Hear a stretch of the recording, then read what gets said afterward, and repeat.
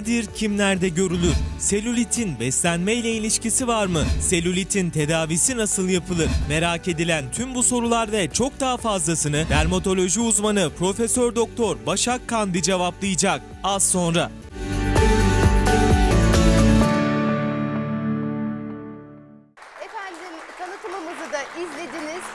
Ekranları başında izleyen tüm izleyicilerimize bir kez daha günaydın diyelim.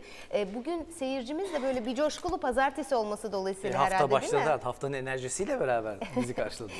İyi haftalar diliyoruz efendim. Stüdyomuzda aslında geçtiğimiz bölümlerde ağırladığımızda e, şöyle seslenmiştik kendisine. Demiştik ki güzelliğin profesörü. evet ben de kendisine meslektaşım olduğu için asaletin profesörü demiştim. Evet efendim biz bugün güzelliğimizi konuşacağız ama kiminle konuşacağız? Ee, Dermatoloji dermatoloji uzmanı. uzmanı Profesör Doktor Başak Kandi stüdyomuzda artık. Başak Hocam hoş geldiniz. Hoş geldin Sayın Hocam. Şimdi artık e, böyle yaz aylarına artık yavaş yavaş yaklaştığını sanki hissediyor gibiyiz değil Korkuyor mi? Soğuk- musun? Korkuyoruz hocam. O, o zor zamanlar geldi. Geldi değil mi? Deniz, havuz mevsimi de Geldi. e, geldi. Geliyor. Evet Tık tık. şimdi herkes kara kara düşünmeye başladı. Bu mayoları nasıl giyeceğiz? Bu selülitlerden nasıl kurtulacağız? Ee, var mı çözüm hocam? Selülitin çözümü var mı? Şöyle selülit e, bence herkesin problemi erkekler hariç. Erkekler yok hariç. yok. Evet herkeste vardır. E, artık çok küçük yaşlara indi beslenmeden dolayı anlatacağım ayrıntılarını. Doğru beslenme, uygulanan tedaviler, iğneler, cihazlar %70-80'lere çekiyoruz. Nasıl oluşuyor selülit hocam? Selülit zor e, bir konu. E, tamamen östrojene bağlı aslında. Kadınlık hormonu ile ilgili. Yani östrojen varsa, kadınlık hormonu varsa selülit vardır. Olmazsa olmaz.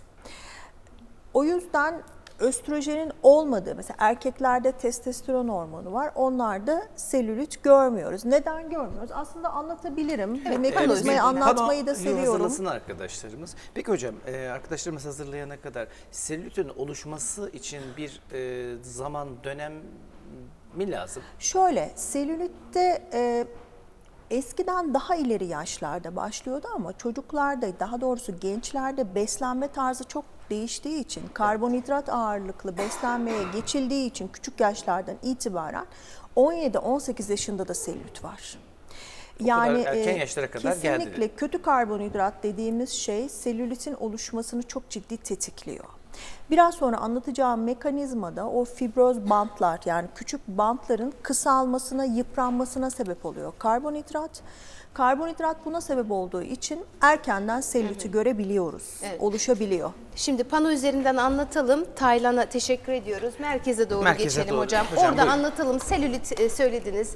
E, aşağı yukarı herhalde e, 10 kadın üzerinden hesaplayacak olursak 8'inde var mı hocam bu selülit? Bence 9'unda da var, 10'unda da 9 var. buçuğunda. Bir de bir kalem rica edebilir Hemen gidiyor miyim? kalemimizde. Evet. Özgür hocam teşekkür ederiz. Şimdi evet selüliti konuşuyoruz şöyle efendim. Profesör anlatayım. Doktor Böylece Başak herkesin Kay. anlayacağını düşünüyorum. Çok basit anlatmaya çalışacağım. Şu bizim derimiz. Ve derimizin altında yağ hücrelerimiz var. Bunlar öbek öbek, grup grup. Bunları yağ grupları kabul edelim. Ne kadar kiloluysak bunların miktarı, büyüklüğü o kadar artıyor.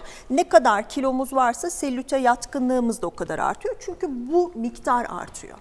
Şimdi erkeklerdeki testosteron hormonu yağ hücrelerini şu şekilde bağlıyor. Bunları fibroz bant düşünün.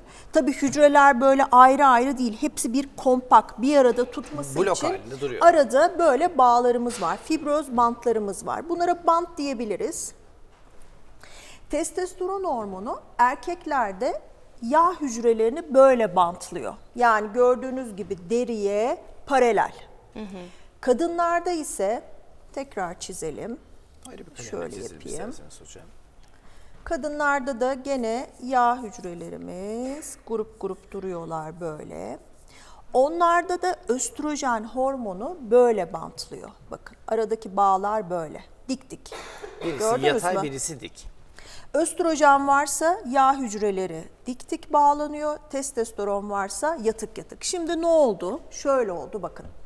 Bu bantlar karbonhidrat almakla az su içmekle, az aktiviteyle ve yaşla beraber boyları kısalıyor bunların. Yaşlanıyorlar öyle diyelim. Yaşlandıklarında bu bantların boyu 1 santim diyelim. Örnek veriyorum. Bu söylediğim sebeplerden dolayı bu bantlar 0,5 santim oldu. Yani bunlar kısaldı. Kısaldığında ne oluyor? Bunlar deriye bitişik biliyorsunuz. Deriyle bağlantılı. Kısaldığında deriyi böyle aşağı doğru Öbek öbek çekiyor. başlıyor. Bantlar kısaldı, deriyi çekiyor ve işte selülitte gördüğümüz o gamzeleri görüyoruz. Meşhur portakal kabuğu görüntüsü Görüntüsünü yani. görüyoruz. Evet. Yani burada hücreler, bantlar kısaldı. Kısaldığında deriye doğru Engebeli gamzeleşmeler oluyor ve bu gamzeleşmelerden dolayı da o portakal kabuğu görünümünü e, görüyoruz. Bunu yapan östrojen. Yani kadınlık hormonumuz. Şimdi kadınlık hormonu ne kadar fazlaysa o kadar bantların kısalması ve o portakal kabuğu görünümünü o kadar fazla görüyoruz. Ama bu şunla ilgili beslenme tarzımız, su içmemiz, aktivitemiz ve derimizin kalitesiyle ilgili. Şöyle düşünün deri ne kadar kalınsa kalın bir kumaş düşünün. Kalın kumaşın altında e, Pamuklar düşünün, yağ hücreleri düşünün onları. Kalın kumaşın altında onları göremezsiniz ama incecik bir kumaş düşünün. Onları böyle löp löp görebilirsiniz. Yani cel, derinin kalınlığı ve kalitesi, fibroz bantların yıpranması, yaşlanması selüliti ortaya çıkarıyor. Peki selülit genelde şöyle algılanıyor. Kiloluysan selülitin vardır. Şöyle kiloyla birlikte gerçekten selülit miktarı artıyor. Tek başına kilo değil. Çok zayıf insanlarda da oluyor. Bunun sebebi de beslenme problemi. Karbonhidrat ağırlıklı beslenmede kolajen ve fibroz bantlar hızlı yıpranıyor. Yıprandığı için de o bantların boyu kısalıyor. Kısaldığında deriyi kendine doğru çekiyor. Yetemiyor ki yıprandı. İşte o zaman o gamzeler ortaya çıkıyor. O zaman çok fazla e, karbonhidratı tüketmediğimizde Anlatacağım ben çok, şimdi. e, evet. çok yani fazla de, beslenmeyle önlem alabilme Ee, ihtimalimiz aslında yüksek. kötü karbonhidrat tüketmek burada çok önemli. Ee, işte böyle pastadır, börektir bunlar gerçekten Eyvah günlere gidemeyeceğiz yüzde o zaman. Hanımlar günlere Yani gidemeyecekler o günlerde zaman. zeytinyağlı yapılabilir Değil mi? mesela. Ee, onun dışında e, az su tüketmek, e, raf ömrü uzun gıdalar kullanmak. Neden raf ömrü uzun? Raf ömrü uzun gıdalarda yani ambalajlı gıdalarda e, maddeyi korumak için çok yüksek sodyum kullanılıyor. Tamam mı? Sodyum su tutan bir e, element. Ne kadar böyle gıdalar tüketilirse o kadar su tutar ve cildimizi o kadar o bantları yıpratır. Çünkü dolaşımı bozuluyor. Yağ hücrelerinin arasında zaten çok yoğun bir dolaşım yok. Yani onlar böyle sıkı sıkı. Eğer siz bir de bunları bunları e, daha fazla tüketirseniz iyice dolaşımı bozuyorsunuz. Hocam burada anlatacağımız farklı bir şey yoksa Yok, masa hayır. başında Peki sohbetimize hocam, dolaşımı Devam bozulan dokunun tekrar düzelebilme ihtimali var mı yok mu? Herkesin şimdi, Şimdi- boğazına dizdik kahvaltısını yaparken herkesin boğazına dizdik lokmasını. Şimdi en baştan geçersek selüliti yapan şeyler ne dedim? Bir karbonhidrat tüketimi. Karbonhidratın çok yüksek tüketimi e, cilt yapısını bozuyor. Yani yüzümüzde sarkma yapar, yaralarımız geç iyileşir, yaralarımız leke bırakır, selülitlerimiz ortaya çıkar, cilt kalitesini bozuluyor, bozuyor ve cildimizi eskitiyor. Yani yaşlandırıyor. Bir bu. İkincisi az su tüketimi. Ne kadar nemlendirirsek o kadar iyi ama ödem yapacak şekilde değil. İşte yani böyle çok tuzlu yiyecekler, ondan sonra kafein, alkol bunlar çok ciddi ödem yapıyor. Ödem yaptığı için yağ hücrelerinin arasındaki kan dolaşımını bozuyor. Yani orayı ne kadar güzel beslerseniz selülitin o kadar önüne geçersiniz.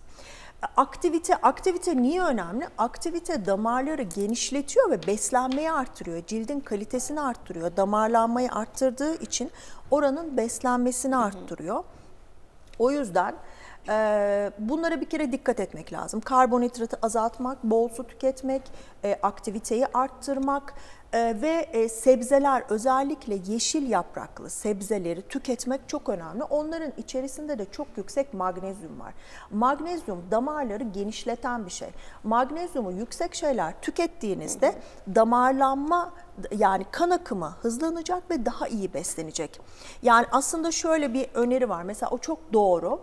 Neler yapılabilir kısmında? Mesela vücudunuza sıcak soğuk masajı yapın deniyor. Yani önce soğuk duş, arkasından sıcak, Şoklama tekrar değil soğuk. Tek sebebi bu.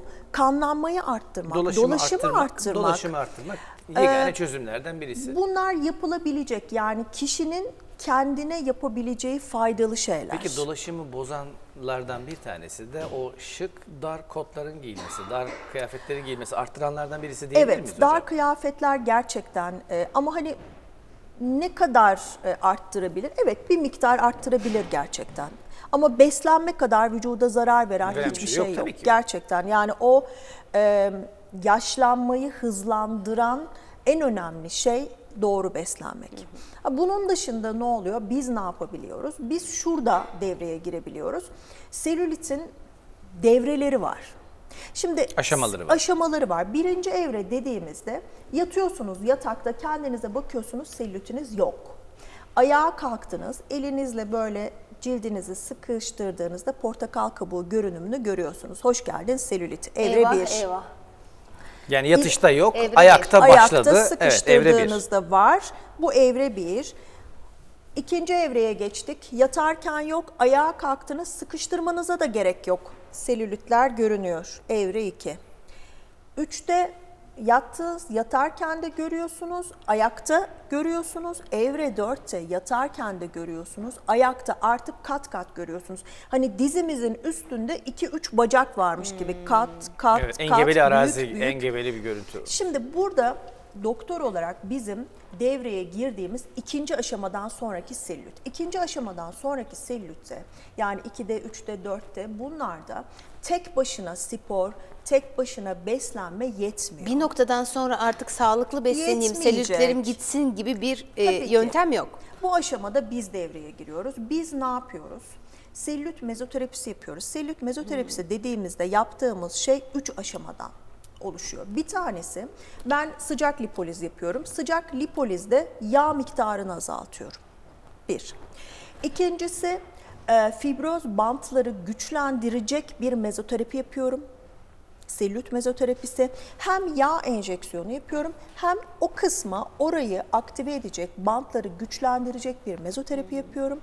Üçüncüsü de cilt kalitesini arttırıyorum. Biraz önce söyledim ya, cilt, Cilt ne kadar kalınsa, ne kadar kaliteliyse, Güçlüyse. görünüm Evet. o kadar az olur. Cilt ne kadar yıpranmışsa, ne kadar inceyse selüliti o kadar gösterir. Peki hocam şunu merak ediyorum. Şimdi yöntemlerden bahsettiniz selülit tedavisiyle ilgili. E, dördüncü evrede e, bir hasta diyelim ki bir danışan geldi size selülitlerinden kurtulmak istiyor. Ne kadar zaman içerisinde kurtulabiliyor ve tamamıyla aslında kurtulabiliyor mu belki? Şimdi tamamen kurtulmak mümkün değil.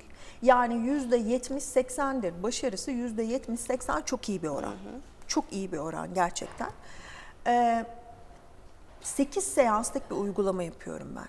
8 seanslık uygulamayı da 10 günlük aralarla yapıyorum. Yani yaza hazırlanan birinin selülit tedavisine 2-2,5 ay öncesinde 80 gün, başlaması lazım neredeyse 80 gün. başlayacak ki çünkü senelerce oluşmuş belki 30 yılda meydana gelmiş bir selülit görüntüsünü elbette ki bir kere de geçirmek mümkün değil.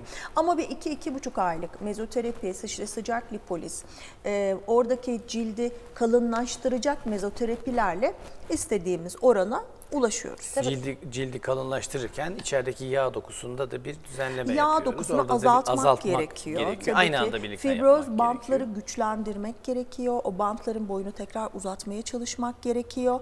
Çünkü orada çeken şey o.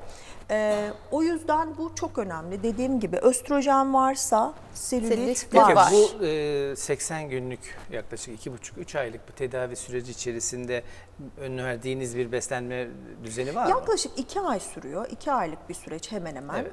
Ee, karbonhidratı azaltmasını istiyoruz tabii ki. Ee, daha sebze tüketmesini istiyoruz. Ee, suyu çok tüketmesini istiyoruz. Kahve? Aslında kahveyi sevmiyoruz. Türk kahvesi biraz daha masum. Evet. Ee, ama kahve dolaşımı bozan bir şey. Alkol, kahve, Ama işte e, günde bir gazlı fincan içilebilir gibi bir şey hatta selülite iyi geliyor gibi haberler de kahvesi. yapılıyor. Türk kahvesi bir tek zaten Türk kahvesine izin verilebilir. Türk kahvesi selülitte evet Türk kahvesi tüketiyor hatta faydalı bile. Hmm. Ama gerçekten o normal içtiğimiz filtre kahve selüliti arttırıyor. Peki bu esnada e, bir spor egzersiz öneriyor musunuz? Yapabilirlerse süper olur. Ama Ev- sadece şu beslenmeyi düzenlemek bile bizim tedavimize katkıda bulunacak. Belki o %70-80'leri 90'lara çekecek. Yani aktivite yapabilirlerse çok basit bir yürüyüş bile oradaki kanlanmayı arttırdığı için ev tedavi... tipi ev tipi egzersizler. Evet yani Peki- dışarıda açık havada bir yarım saatlik yürüyüş mükemmel olur mesela. Ee, hazır sizi de bulmuşken e, hocam e, malum evre 2 ve daha sonrasındaki e, selülitleri biz tedavi ediyoruz Evet. e, diyoruz. Evre 1 yani e, yattığında görünmeyen ama acaba bende var mı şüphesiyle çıkan Evet e, cildi şöyle selülitin- parmak arasına alıp sıkıştıracak Bunlar ve için görecek. herhalde bir e, her yıl büyük bir reklam kampanyasıyla çıkan e, antiselülit ürünler var. Acaba e, bu tedavi grubunun e, burada yeri var mı? Şimdi şöyle, e, kremlerdeki amaç onların çoğu e, şöyledir, yakar. Böyle cayır cayır yanarsınız, ısınır, bir kızarır. İşte sebebi oradaki kan Dolaşım dolaşımını arttırmak, evet. arttırmak. Tamamen mekanizması bu. Ama şöyle bir şey var, kremleri bıraktıktan sonra geri gelir. O zaman bunun tedavide çok da bir yeri yok. O belki işte bir ay, iki ay kullandığınız Bir illüzyon sürece yaratıyor değil mi belki de? e, bir kanlanmayı arttıracağı için bir selülit kısmını azaltır ama ileri evrede hiçbir işe yaramaz. E, bıraktığınızda da geri gelir. Mutlaka yağ dokusunu azaltmamız lazım lipolizle ve cilt kalitesini ve e, bantların kalitesini arttırıp oradaki dokuyu tamir etmek lazım. Tamir etmezseniz bir anlamı yok. Peki şunu da belki konuşmak gerekiyor. Şimdi selüliti konuştuğumuzda belki sadece kozmetik bir e, sıkıntı gibi gelebilir. Oysa ki aslında sağlığımızı ciddi anlamda Tabii ileri ev- evrelerde Tabii bir dolaşım ciddi anlamda etkileyen bir sorun Aslında öyle değil mi? evre 2'den sonra ağrı yapmaya başlar. Bunu da şöyle anlayabiliriz. Mesela bacak arkamız en sık aslında her yer selülitleniyor. Göbek, kol, bacak, kalça her yerde selülit Yağ dokusunun olduğu her yerde, olabilir. elbette. Mesela armut tipi kadın dediğimizde östrojeni daha yüksektir aslında. Kalça ve bacaklar. Elma tipi üst kısmı biraz daha erkek tipidir. Üst kısım kollarda selülit olur. Mesela onların bacakları incedir. Bacakta selülit daha azdır. Yani yağın bulunduğu yöre göre değişiyor. Onu da şöyle anlayabilirler. Biraz sıkı masaj yapıldığında selülit varsa sıkı masaja selülit dayanmaz. Ağrır. Ay uy der yani Mesela illa böyle ki. kese vesaire yaptırınca belki Yani masajla Evet, ağrılı ağrı. hale gelir. Mesela evre 2 3 masaj yaptırdığında gerçekten selülitli yerler ağrır. Evre 4 artık hani durduğunda da ağrır. Biraz fazla ayakta dursun. Ayak durduğunda bacak ağrısı olur. Yani ağrı olarak da selüliti hissedebiliriz gerçekten. Özellikle mesela masajda kesinlikle o bacak dayanmaz yani. Peki bu ağrı, ağrı olduğu e, esnada bir hastalık habercisi düşünülebilir mi? Yani bir, bir hekime Bir e, süre sonra ödem kalıcı olabiliyor yani hani oradaki ödemi azaltmak çok zor hale geliyor. Çünkü dolaşım o kadar bozulmuş oluyor ki beslenme, dolaşım, bantlar küçücük kalıyor ve gerçekten hani artık kalıcı bacakta ödem haline gelebiliyor. O yüzden erken müdahale etmek lazım. önerebileceğiniz bir egzersiz türü var mı evde? Selülit için yani evrensel bir şey söylüyorum yapılabilecek en güzel şey yürüyüş. En güzel En şey bu. güzel koşmak demiyorum. Tempolu yürüyüş en güzeli. Çünkü koşmak hani e, biraz daha kardiyoya giriyor ama biz bacaktaki kan dolaşımını arttırmak istiyoruz. O yüzden tempolu bir yürüyüş selülit için çok yeterli. Cilt lekelerinden kurtulmak için güneş koruyucusu kullanmayı e, ve cilt temizliğini öneriyorsunuz. Evet. Dermatoloji dünyası bunu öneriyor. Tabii. Peki selülitten kurtulmak için bir iki şifreniz var mı? Şu an herkesin boğazına dizdiniz Şimdi, kahvaltısı selülitten sofrasında. kurtulmak için ilk evrelerde karbonhidratı kesmek lazım. Gerçekten. Yani kötü karbonhidratı, ambalajlı gıdaları hayattan çıkarmak lazım. Biraz zeytinyağlı, yeşil sebzelere, zeytinyağlı yemeklere yönelmek lazım. Ee, bol su tüketmek lazım, yürüyüş yapmak lazım. En önemli şey bu. Ama dediğim gibi ileri iki evreden yani ikinci evre selülitten sonra gerçekten doktordan yardım almak lazım. Çünkü ne yaparsanız yapın onu azaltmak mümkün değil. Yani yağ miktarını azaltmak gerekiyor. Dediğim gibi cilt kalitesini arttırmak gerekiyor. Çünkü mesela gençlerdeki o 17-18 yaş grubunda eskiden hiç selülit, annem öyle diyor, hiç selülit diye bir şey yoktu diyor. Şimdi bakın 17-18 kol, kollarında bile Çünkü selülit beslenme var. başından beri Beslenme Beslenme o kadar değişti ki hep böyle oturarak bilgisayar karşısında ellerinde telefon aktivite sıfır. Hep karbonhidrat, hep cips, hep ambalajlı gıda. O yaş grubunda selülit var. İşte o yaş grubunun beslenmesini düzenlerseniz, biraz aktiviteye yönlendirirseniz geri çekebilirsiniz. Ama ilerledikten sonra yani mecbur Yaş bize, bize gelecekler. yaş ilerledikçe tedavisi daha da zor bir rahatsızlık diyebilir miyiz? Şöyle e, yani yaşla beraber metabolizmamız giderek yavaşladığı için yağ yakımımız çok azalıyor. Dolayısıyla biriken yağ miktarımız artıyor. Biriken yağ miktarı arttığında da selülit artıyor.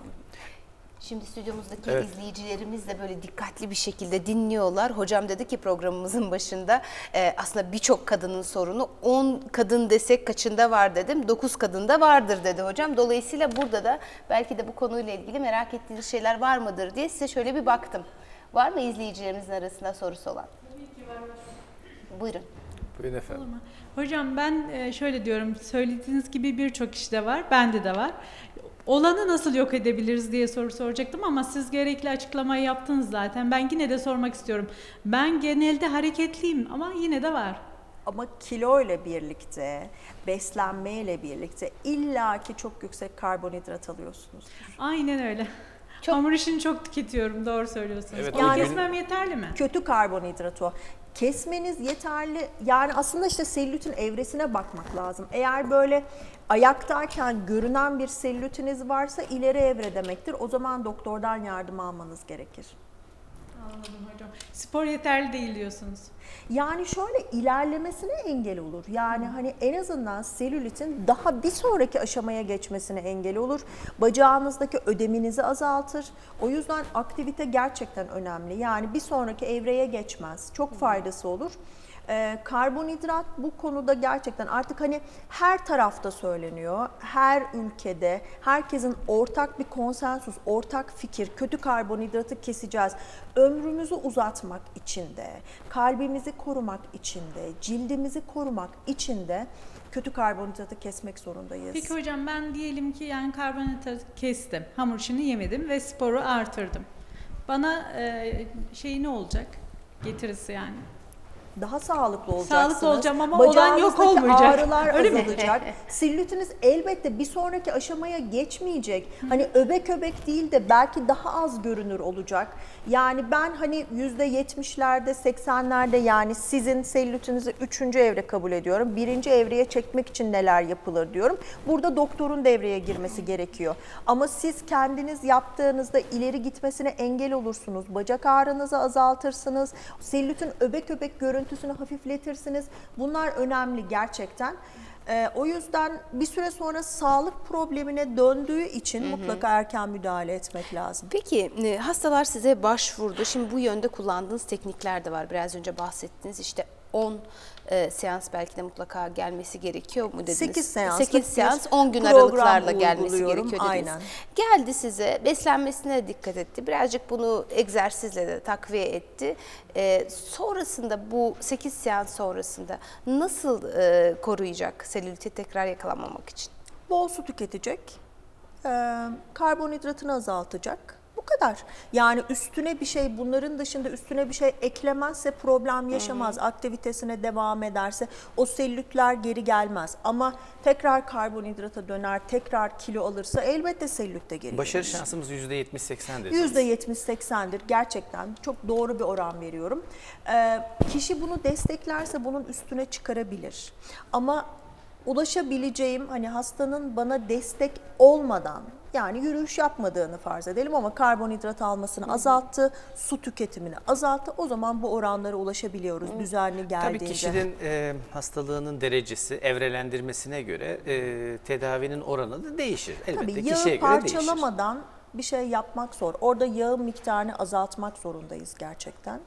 Ee, bantları güçlendirmek zorundayız. Cilt kalitesini arttırmak zorundayız. O zaman selülitle başa çıkabilirsiniz. Selülite bir şey katabilirsiniz, azaltabilirsiniz. Hastayı memnun edebilirsiniz. Peki hocam şimdi sosyal medyada, internet ortamında birçok e, ürün de bu anlamda pazarlanıyor. İşte seri- selülit kırıcı, işte yağ yakıcı, selülit e, Yağ parçalayıcı. parçalayıcı, Evet. işte çaylar, işte ne bileyim kremler, türlü türlü türlü türlü aslında ticari anlamda belki de bizim bu rahatsızlığımızı bildikleri için kadınları böyle de cezbeden e, Durumlar var, manşetlerle çıkan reklamlar var. Bunlara kanalım mı? Şimdi bakın şöyle, hiç kimseyi de kötülemek istemiyorum tabii ki. Biraz önce de söyledim. Hani e, bir kere e, bitkisel çayların e, bol miktarda ve yanlış kullanımı böyle hayatını kaybeden insanlar var. Karaciğer yetmezliğine sebep oluyor, toksikasyon yapıyor. Tamam mı? Yani hani e, böyle bir sürü ölen insan oldu. E, Böyle karışım ne içinde belli olmayan karışımlarla satılan çok güzel pazarlanan çaylar. Siz vücudunuzda ne olduğunu bilmiyorsunuz ve bu sizi öldürebilir. Tamam mı? Yani o yüzden hani yeşil çayı belli bir oranda tüketmek ya da işte papatya gibi Bildiğimiz yani, şeyleri. Bunlar belki metabolizmayı arttırmak adına yani Hekim yapılabilir. kontrolünde olmak kaydıyla hekime danışarak Yani yapılabilir. tüketilebilir. elbette. Ama yapılacak şey hani orada belki bir miktar metabolizmayı artırıyor. Kilo vermeyi belki hızlandırabilir. Hani mekanizma buraya dayandırılabilir. Kremleri de söylediğim gibi kremlerle ciltteki e, vazodilatasyon yani damarlanmayı, kan akışını hızlandırdığı için e, selülitte geçici bir iyilik hali yapabilir. Ama bu, bu oranda yüzde beşi onu geçmez. Bunu çok net iddia Keşke ediyorum. böyle bir şey olsa da değil mi hocam? Yani içsek o çayı hop yağlarımız gitti, hop selülitlerden kurtulduk. Çay değil yok de, öyle bir şey, çay yok değil öyle de bir dünya. Başak Hocam Türk kahvesini kurtardı ya ben ayrıca minnettarım. Türk kahvesi e, evet e, bu konudaki en masum. Hatta Türk kahvesi belli oranda tüketildiğinde selülite iyi de geliyor. Kafeinin varlığı Evet elbette. e, ama e, filtre kahve e, dolaşımı bozduğu için bak çok önemli. Gençlerde yayılan alışkanlık. Dolaşımı bozuyor. Yani kan dolaşımını, lenf dolaşımını bozduğu için selülit yapar, kola yapar, alkol yapar. Yani dolaşımı bozan her şey eşittir selülit demek. Peki şöyle bir toparlayacak olursak şu anda ekranları başında kahvaltı sofrasında e, izleyen izleyicilerimiz vardır mutlaka. Selülitle ilgili atladığımız herhangi bir şey var mı onu da paylaşalım izleyicilerimiz. Yani selülitte dediğim gibi beslenme, su, aktivite çok önemli. Ee, ilk evrelerde bunlara dikkat edilirse bir geri dönüş olabilir. İleri evrelerde mutlaka doktor müdahalesi gerekir. Ee, selüliti %70-80 oranında Büyük oranda azaltabiliyoruz. azaltmamız mümkün, evet. Ee, selülit tedavisi yaklaşık 2 aylık bir tedavi. Bu bir süreç. Ee, hem cilt kalitesi için hem yağ miktarını azaltmak için ayrı ayrı tedaviler uygulanmalı. Ee, ileri dönemde de bir sağlık sorunu selülit. Bir sağlık sorunu olduğu için erkenden müdahale edilmesi Hekim gerekiyor. kontrolünde yapılması gereken Kesinlikle. e, ve ciddi tıbbi sonuçlar doğmadan çözülebilecek bir e, durum diyorsunuz. Evet. Çok teşekkür ederiz sevgili Ben teşekkür e, ediyorum. Hocam. Dermatoloji uzmanı Profesör Doktor Başak Kandi stüdyo konuğumuzdu ve birçoğumuzun sorunu olan selülitlerle ilgili bilgi aktardı bize. Kendisine çok teşekkür ediyoruz. Efendim